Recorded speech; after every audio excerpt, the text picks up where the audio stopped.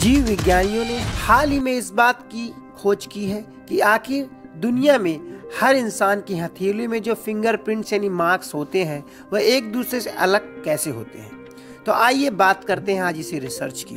दोस्तों, आप देख रहे हैं वर्ल्ड न्यूज़ कृपया हमारे चैनल को सपोर्ट ज्वाइन और सब्सक्राइब इस बात का क्वेश्चन हमेशा ही इंसानी दिमाग में उपस्था रहा है कि आखिर उंगलियों या हथेली में ये जो फिंगरप्रिंट्स बने होंगे, इनका निर्माण कैसे हुआ होगा? क्योंकि यह इतनी जटिल होती हैं और हर इंसान की हथेलियों में ये जो फिंगरप्रिंट्स होते हैं, ये एक दूसरे से बिल्कुल अलग होते हैं। यानी ये यूनिक फिंगरप्रिंट्स का आखिर निर्माण कैसे होता है? हाथों में जटिल पैटर्न का निर्माण कहते हैं कि भ्रूण में जब बेबी गर्भ में रहता है, तब से ही इसका निर्माण कार्यक्रम शुरू हो जाता है। जब त्वचा पर महीन लकीरें बनती चली जाती हैं। वही एक दूसरे से कभी टकराती हैं और एक दूसरे से क्रॉस कट भी करती हैं। और इसी लक, हाथों की लकीरों को पढ़ने वाले कई सारे भविष्यकर्ता भी होते हैं जिन्हें पॉमिस्ट कहा जाता है यानी जो कि पॉमिस्ट्री यानी हथेलियों का ज्ञान रखते हैं। और इससे तो इंसानों के भविष्य के बारे में भी बात की जाती है कि भविष्य में उसका व्यवहार, वही उसका हाल चाल कैसा होगा।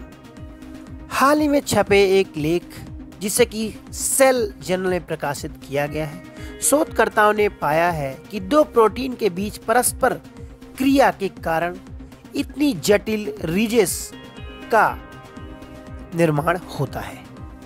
वहीं लकीरों की आवधिक तरंगे यानी डिफरेंट काइंड ऑफ़ वेव्स का भी निर्माण करती हैं। वही उंगलियों पर तीन अलग अलग क्षेत्रों से ये वेव्स यानी ये मार्क्स फिंगरप्रिंट्स निकलते हैं।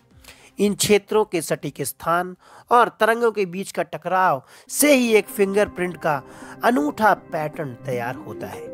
यूके के एडिनबर्ग विश्वविद्यालय के एक डेवलपमेंट जियो बॉटनिस्ट यानी जूलॉजिस्ट ने अध्ययन करके इस बात का खुलासा किया है कि इसका निर्माण भ्रूण में ही शुरू हो जाता है।